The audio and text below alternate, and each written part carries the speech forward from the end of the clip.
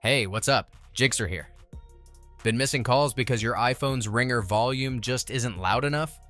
In this video, I'll show you several effective methods to boost your ringer volume, ensuring you never miss an important call again.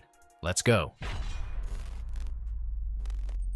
If you have an iPhone with Face ID, your phone might lower the volume when it detects you're looking at it. To turn off this feature, go to Settings and find Face ID and passcode. Enter your passcode. Scroll down and disable Attention Aware Features. Once you've turned this off, your iPhone will no longer adjust settings based on whether or not you're looking at it. This means that notifications won't automatically expand, and the screen won't stay on as long as you're not actively using your device. Note that this feature is available on iPhone models with Face ID, such as the iPhone 10 and later. Another method is to adjust the ringer volume on your device's settings. To do this on the Settings app, scroll down and tap on Sounds and Haptics, or Sounds, on older iPhones. Under Ringtone and Alerts, use the slider to adjust the volume to your preference.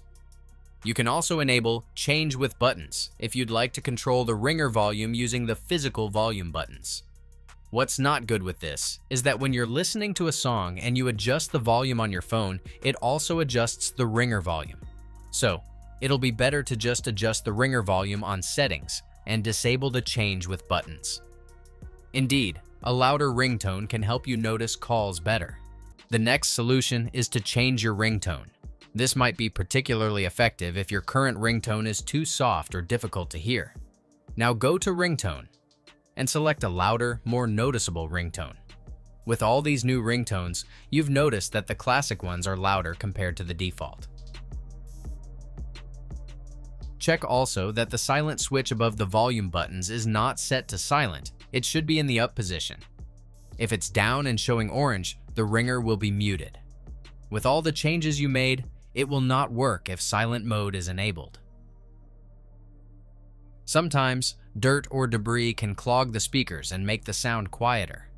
An easy way to do this is to use a dry, clean brush to remove any dirt buildup. Alternatively, you can also use a toothpick to remove any particles from the port.